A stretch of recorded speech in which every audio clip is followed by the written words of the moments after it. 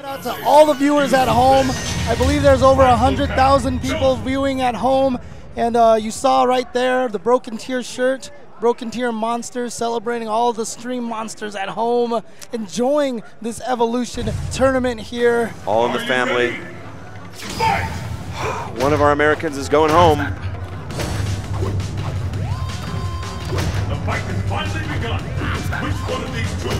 And there's that stand forward so strong. The low roundhouse does have some risks. This crouching fierce also has some risks.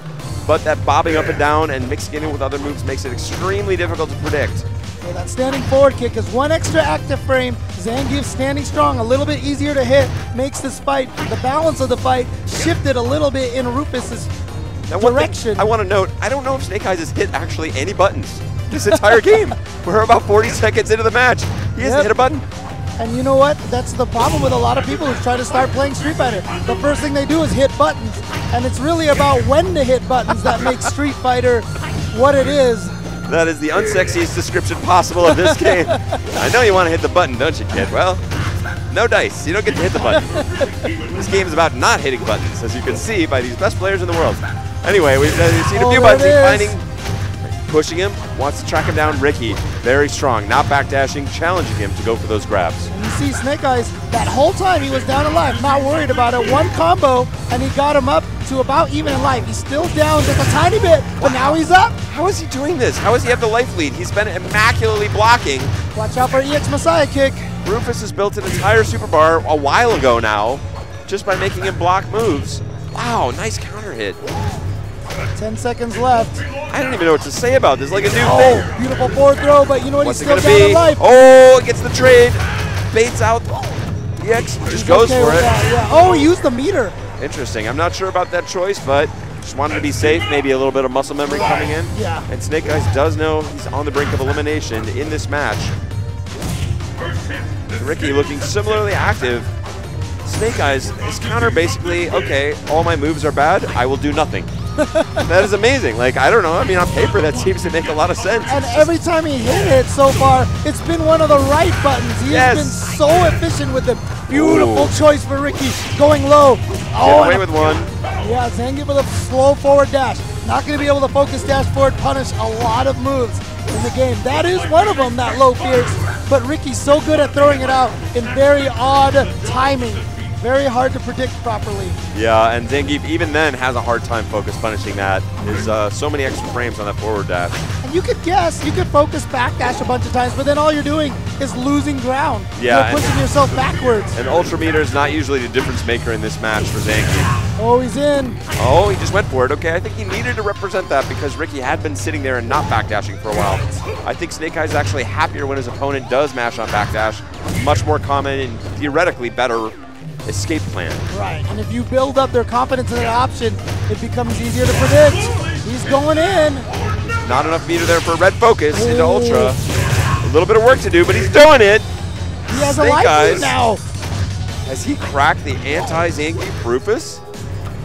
Oh, beautiful stuff from Ricky. Now Ricky with the life lead. and showing such great control. Oh, now oh, he Oh. finds a low roundhouse, baits out. The, oh, he gets a save down. willing timer scam. No, just keeps him locked down with the jab. Oh, Closes jump out. back fierce from SnakeEyez. Gonna take it from Ricky Ortiz. If you remember, Ricky, part of the Team NorCal at Southern California um, regionals when when SnakeEyez did the reverse OCV and took out all five NorCal players in a row. He took out Ricky in one of the most crazy comeback fashions. NorCal went up. Yeah, that was an incredible, incredible set. But SnakeEyez all over it, and Ricky looking a little rattled now. Uh, Ricky not a player who gets very easily rattled, but SnakeEyez may be one of the only people who could do it. Could SnakeEyez have actually been in the lab just since Friday? Here, actually at Evo- Evolution, like actually boning up on his game while here, because this is just an incredible change. Incredible change. Searching, he's got a significant life lead, doing very little. Okay, Ricky creates opportunity and finds it. Wow, that is so risky against Zangief, but he recognizes he's down in life, needs to make it happen. Well, Zangief has nothing that throws that's throw invincible right away except for EX SPD. So it is kind of safe to get in there, even if you did a regular SPD. Still about two or three frames of startup that can be thrown. Yeah, it's true. You can get some setups, but as you can see in general, Rufus wants to play very Ooh. far away from Zangief. Now SnakeEyez gives himself the lead again. Oh, and again does not take the bait from Ricky. And he's gonna take the, that round as well.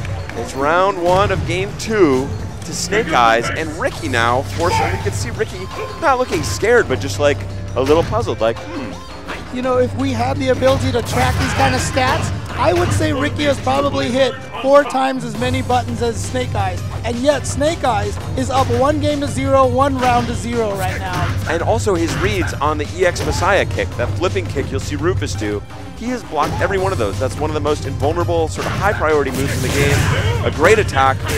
Ricky usually very good with landing those and being able to guess correctly against his opponent. SnakeEyez has read him right every time so far. SnakeEyez is letting the is allowing Ricky to establish a rhythm, a pattern of his attacks. That's how he is getting those little tiny hits in the EX Green hand.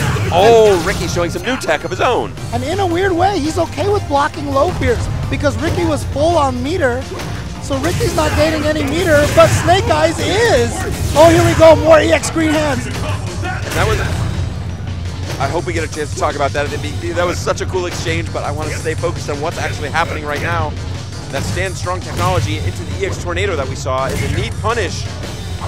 The stand forward kick you see there cannot be comboed. The stand strong can be comboed, and it will create a vacuum effect that pulls Zangief towards him. But SnakeEyez has made the adjustment after getting hit by it exactly once to stand at a perfect range where the tor- oh he got him. But I, he, running he- out of time. I'm sure he wanted to go for Ultra. He can't use it anymore. Not enough time on the clock. Oh, he uses all of his meter. He went for it, but a great low block from Ricky Ortiz. What a read.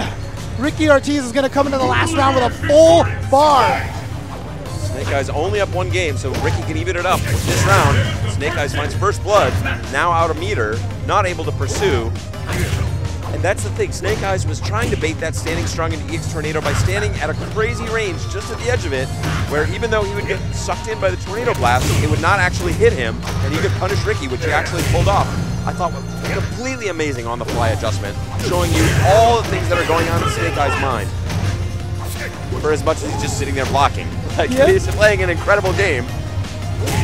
Great sweep from Ricky. Oh. Oh, again, very right in. few options for Zangief on wake up The counter throws like that. Looking, looking. Wow, another surprise jump in, which is used sparingly. And that light green hand is safe on hit now. It is minus two. Very few characters can actually truly punish that on hit. Zangief is in a deficit, but And he knows he can just sit there and force Ricky to come to him, which Ricky definitely doesn't want to do. But without this round, he's going to go 2-0 with a character that should be dominating Zangief. Well, especially the way we saw Ricky play it against Itabashi yesterday. Yeah, if, if, if I mean, you on need Friday. a, a test case, there can be no clearer one. Oh, but he missed it. He didn't believe. He didn't believe it was gonna hit. He was going for another mix-up. Oh! And the lariat punishes both options, the low and the high. And I love his face, such complete composure, like, "Mhm, yes, I have dominated this uh, unwinnable matchup. But Thank same you. thing right there, Ricky. You can see his game face as well. SnakeEyez going up two to zero versus Ricky, and a great start for him. Oh my! combo video style stuff, and he's gonna get out of that corner and bully Ricky a little more. Ricky looking for it. Oh no. Oh! oh! This is the SnakeEyez special. He's in your head. Now you're dizzy. The focus attack into the oh German pile driver. That's gonna I close it to out. I want to talk about that SPD for a second. You see him take a far step. He walked far, way farther than he needed to be, but that's because he knows people tend to do reversals right after you finish touching a button or try to jump away. So he wanted to see if he jumped first, and when he doesn't, you're pretty confident that they're going to stay on the ground. So by doing a slightly delayed SPD, he prevents himself from getting punished by the backwards jump. A great bit of extra information, and RG SnakeEyez, after round one with a perfect, is on match point again of sending Ricky out of the tournament. I believe in fifth place. Uh, with a character that should just lose. Yeah, According, according to the current meta, this should not be possible. But he's on the verge of a 3-0 and opened up this game with a perfect. Like we said, I mean, normally I would think this fight's about even now, but the problem is we saw how badly Ricky beat up on Itabashi Zangief, who is one of the premier Zangiefs in the world, and SnakeEyez has been turning this match completely on its head from that previous fight that we saw. The secret is a magic nothing. He did, he did nothing at Ricky. Oh, yeah, he was crouching, so EX Red focus was Oh! a wake up jab, and he has sent Ricky Ortiz home. Both the EG members have been taken out, one after the other. SnakeEyez moving on. I believe he is going to have to go up against